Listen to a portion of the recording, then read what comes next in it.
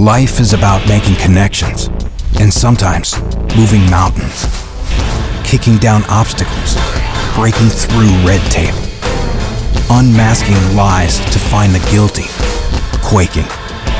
A dedicated crew seeking justice, working, reworking, making things happen. This is our way. King is in everything we do.